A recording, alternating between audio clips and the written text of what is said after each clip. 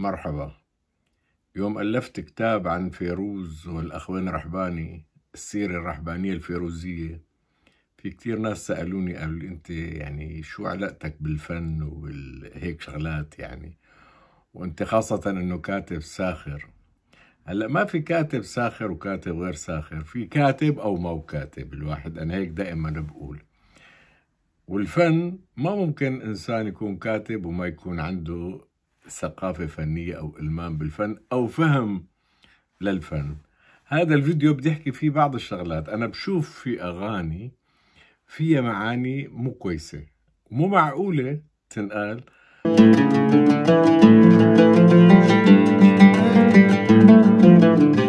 مثلا الفنان الكبير صباح فخري اللي أنا مرة سميته قلعة حلب الثاني أو القلعة الثانية بغني من الفولكلور طبعا مو من تأليفه ولا من اكتشافه.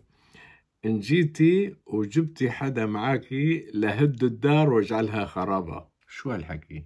تهد دار؟ يعني أنت قايل لها تعالي وحدك لا تجيب معك حدا. تمام.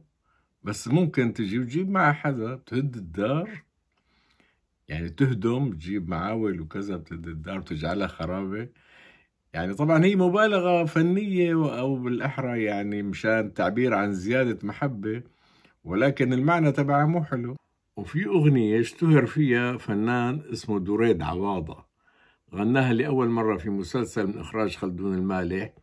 فيه دريد ونهاد وناجي جبر هدول الشلة تبع دريد لحام. هي بتقول دزني وأعرف مرامي صادوني الصيد الحمامي. هون الحبيبة شو بتقول له للحبيب؟ خوفي من أهلي وعمامي يذبحونك ما يهون علي. تصوروا إنه هي بس انتهت إنه إذا ذبحوه هي ما بيهون عليها. هون في جريمة قتل في الموضوع يعني ومرأة مرور الكرام. أنت بتلاحظ إنه بيكتبوا كلمات الأغاني بيقولوا أي كلام بيجي على القافية يا ويل ويلي منهم أكبر ضناي منهم بالسيف لأخذ بنتهم. يعني أنت ما قلت لنا إنه أول شيء إنه هي بتحبك بتحبها بدك تأخذ بنتهم وترحل على ديرة هلك يعني أنت بتشيلها شو هي؟ يعني كيس بطاطا أخذتها ورحت.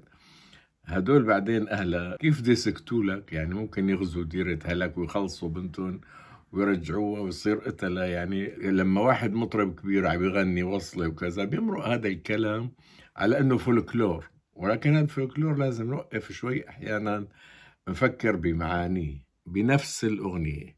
أنت شوف لما القافية بتفرض حالها على عقل المؤلف. يا ويل ويلي قصته شعر الطويل قصته.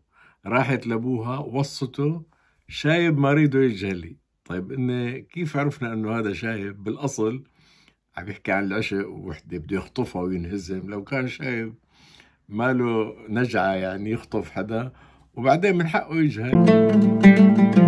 الأخوين الرحباني وفيروز كانوا كل سنة في آخر الصيف يجوا على دمشق. شآم أهلوك أحبابي وموعدنا أواخر الصيف آنا الكرم يعتصر. كانت كل هاي القصائد سموها الشاميات. معظمها من تأليف سعيد عقل.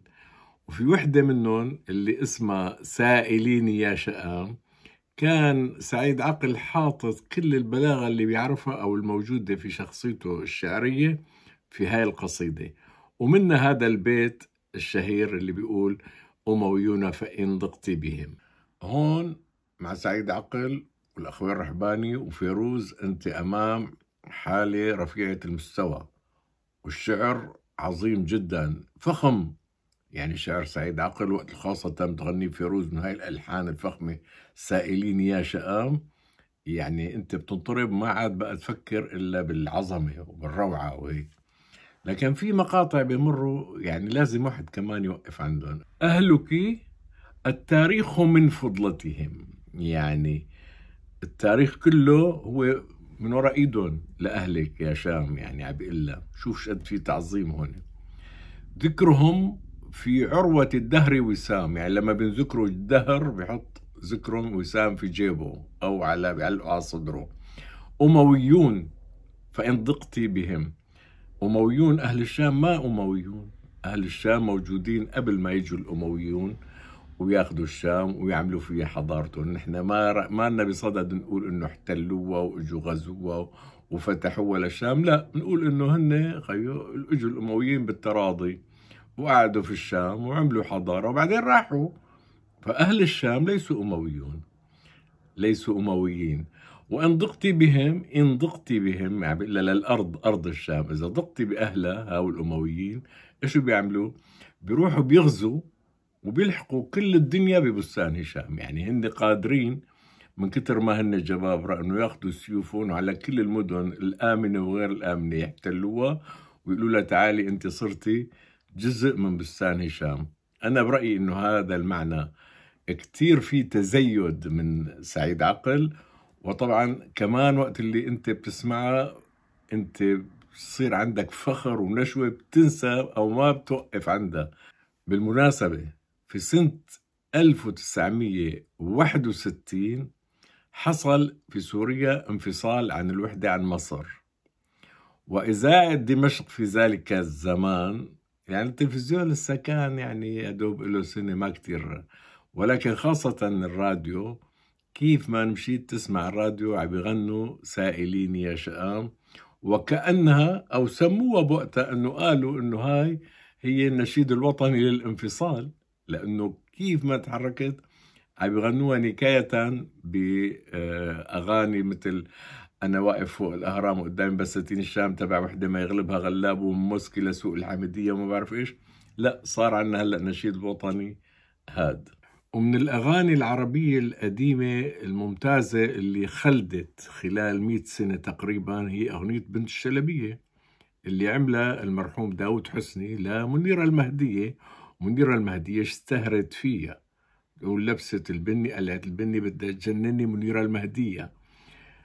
وحياة عينيكي أنا أبوس إيديكي وكعوب رجليكي بس أرضي عليها. فهذا بوقتها إنه واحد يبوس كعاب رجلين يعني هو معنى مستهجن ولذلك لما إجوا الأخوين الرحباني ألفوا أغنية جديدة على نفس اللحن تبع داود حسني وسرعوه شوي يعني عملوا نسخة خاصة بالأخوين الرحباني وهي الأغنية قدمت بعشرات الطرق يعني ما ضل حدا ما غناها حتى صباح فخري ما غناها بنت شلبيه غناها العزوبية طالت علي نفس اللحن تبع بنت الشلبية. ومن الطرائف الجميلة اللي ممكن نختم فيها هذا الفيديو إنه بعد ما صارت ثورة 8 آذار 1963 وصاروا يجيبوا مدراء بعثيين وشرط الاساسي لتعيين المدير تعرفوا إنه يكون ملتزم بحزب البعث يعني مو شرط يكون مختص أو ذكي أو فهمان أو إلى آخره.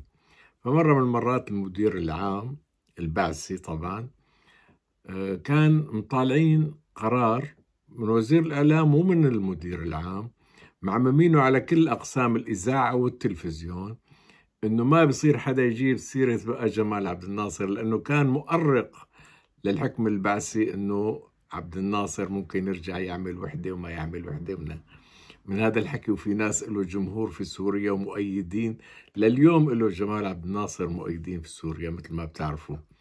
المهم مبين عليه كان إجا غاضب جدا آه، عم يزمر بسيارته فتحوا له الحرس الباب دخل لجوا طلع على المبنى فورا قال له اجمعوا لي كل المناوبين بالفترة الصباحية فورا. إجوا جاب الفنيين جاب مدير الفترة قال له نحن طالعنا تعميم على كل أقسام الإذاعة والتلفزيون إنه ما بصير حدا يذكر جمال عبد الناصر لا بخير ولا بشر. قال له يا أستاذ نحن ملتزمين بهذا القرار وما في عنا حدا بيخالف قرارات الإدارة طبعا. قال له لا اليوم أنا سمعت أغنية فيها إشادة بجمال عبد الناصر. قال له مستحيل هالحكي يا أستاذ أنا مراقب الفترة وقاعد وراي كنترول يعني ما في حدا بيحسن يثبت علي هذا الكلام. قال له هاي الأغنية تبع فيروز اللي بتقول بنت الشلبية شو بتقول فيها؟ قال له ما بعرف شو بتقول. قال له مو بتقول تحت القناطر محبوبي ناصر.